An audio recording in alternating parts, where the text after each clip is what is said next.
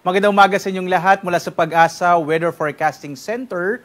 Narito nang lagay ng ating panahon ngayong araw nga ng Miyerkules, June 26, 2024. Sa ating latest satellite images makikita natin dalawang weather systems pa rin ang nakakaapekto sa ating bansa. Ngayon, ang easterlies, ito yung hangin nagmumula sa karagatang Pasipiko, nakakaapekto to sa Luzon at sa Kabisayaan, habang Intertropical Convergence Zone or ITCZ, ito yung pagsasalubong ng hangin mula sa magkaibang hemispheres, mula sa northern at southern hemispheres. Ito ay parang linya ng mga kaulapan na siya naman nagdadala ng maulap na kalangitan na malaking tsansa ng mga pag-ulan, partikular na sa bahagi ng Mindanao habang dito sa may area ng Eastern Visayas, gayon din sa Quezon Province, Bicol Region at lalawigan ng Aurora, magiging maulap din yung kalangitan dulot ng easterlies.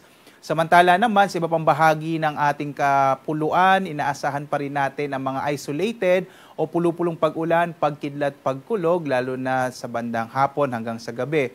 Inaasa natin na magpapatuloy yung epekto ng easterlies, posible din yung ITCZ. Particular na makikita nyo no, dito sa may eastern section ng ating bansa, medyo maulap pa rin yung kalangitan at malaking tsansa ng mga pag-ulan. Pagdating naman sa bagyo, sa ngayon wala pa rin tayong minomonitor na low pressure area. Malit pa rin chance magkaroon tayo ng bagyo at least in the next 3 days. Yung habagat naman or yung southwest monsoon, medyo mahina pa sa ngayon. Pero inaasahan pa rin natin sa mga susunod na linggo ay maaaring lumakas ito at maaaring magdala pa rin ng mga pag-ulan, lalong-lalo na sa may western section ng ating bansa. So tingnan natin magiging lagay ng panahon dito sa Luzon. Makikita natin sa bahagi ng Luzon, malaki yung tsansa ng mga pag-ulan sa Bicol Region, gayon din sa Aurora at Quezon. Dulot yan ng easterlies. Ito nga yung hangin mula sa karagatang Pasipiko. Sa nalabing bahagi na ating bansa, dulot ng mga localized thunderstorms, posible pa rin yung mga isolated rain showers and thunderstorms. Posible pa rin, no, medyo mainit sa tanghali hanggang sa gabi, lalo na, or bandang tanghali, medyo mainit pa rin habang lumalaki yung chance ng pag-ulan sa hapon hanggang sa gabi. Lalo na dito sa may bahagi ng uh, northern na uh, Luzon, medyo mainit pa rin yung panahon na mararanasan. Sa lawag nga, nasa 26 to 30 degrees Celsius. Sa Tugigaraw, medyo mainit pa rin hanggang 35 degrees Celsius. Sa Baguio ay 18 to 25 degrees Celsius. Sa Metro Manila naman, 25 to 33 degrees Celsius. Sa bahagi ng Tagaytay, 23 to 31 degrees Celsius. Habang sa Legazpi, 25 to 32 degrees Celsius. Dumako tayo sa Palawan, Visayas at Mindanao. Sa Palawan, inaasahan din natin ang mga isolated rain showers and thunderstorms.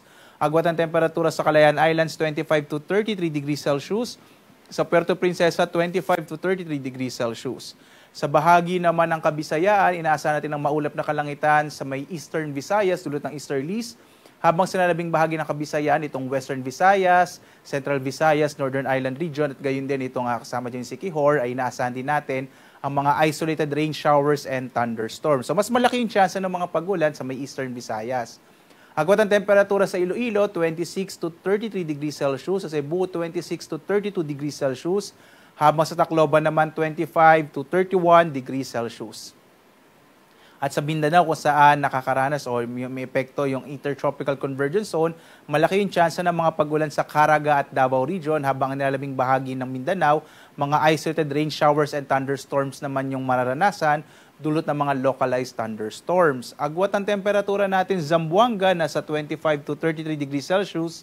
Sa Cagayan de Oro naman 25 to 31 degrees Celsius habang sa Davao 25 to 32 degrees Celsius.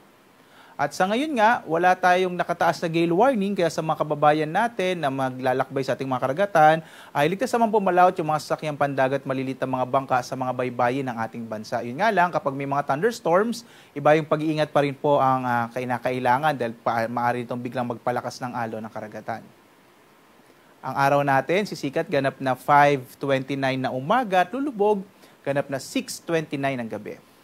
At dahil nga inaasahan pa rin natin yung mga thunderstorms, yung mga dulot ng mga localized thunderstorms, ay mag-follow pa rin tayo sa ating iba't ibang mga social media platforms sa X, Facebook, YouTube at sa ating website pag-asa.toc.gov.ph. Dito natin nilalabas yung mga latest natin ng mga advisories, gayon din kapag meron tayong mga heavy rainfall warning, tsaka mga rainfall information. At live na nagbibigay update mula dito sa Pag-asa Weather Forecasting Center. Ako naman si Obet Badrina. Maganda tayo lagi para sa ligtas, na Pilipinas. Maraming salamat po. Magandang umaga sa inyong lahat.